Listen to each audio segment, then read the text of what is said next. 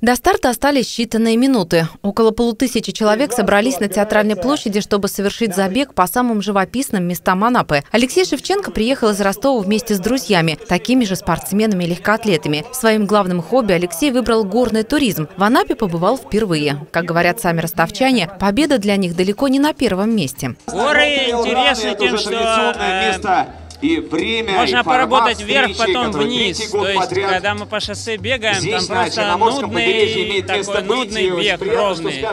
А здесь э, медленно вверх и тяжело, потом быстро вниз, но тоже тяжело.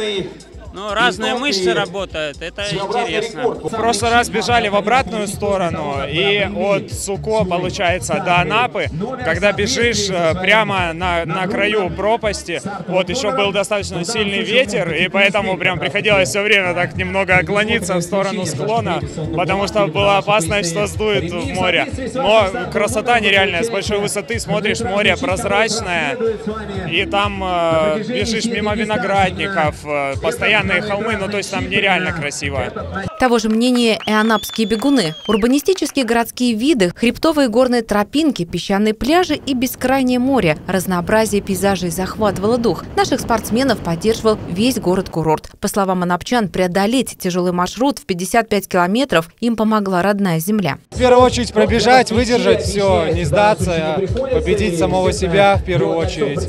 Ну, места здесь очень красивые, посмотреть красиво. В принципе, это самое главное. Каждому спортсмену был присвоен собственный идентификационный номер. С помощью электронных чипов организаторы могли отследить местоположение всех бегунов. Менее чем через полтора часа лидер дистанции Анапа-Суко уже преодолел финишную прямую. Число 77 стало для Владимира счастливым. Спортсмен из Волгограда занял почетное первое место, сильно оторвавшись от своих соперников. Владимир посвящает большую часть времени легкой атлетике. Недавно открыл для себя триатлон – непрерывную мультиспортивную дистанцию, состоящую из плавания, велогонки гонки и бега. На море не смотрят на красоту, потому что технически сложная трасса и бежишь над, над, обрывом. А скорости ну, не маленькие, там иногда бывает из 4 минут там, на спусках. И буквально в полуметре обрыв, там 50-70 метров. Поэтому на море не очень-то хочется смотреть, смотришь под ноги на дистанцию. Но запомнился вот последний подъем, когда был спуск по пляжу, там метров 500, и резкий подъем ну, в гору, там практически градусов, наверное, 30-35. Ну, пришлось на шаг перейти, потому что ну, невозможно туда было бежать. В этом наша беда. Мы потом приезжаем сюда второй раз и проходим эту трассу пешком, чтобы посмотреть всю красоту, которую мы не видели, когда бежали. И это всегда.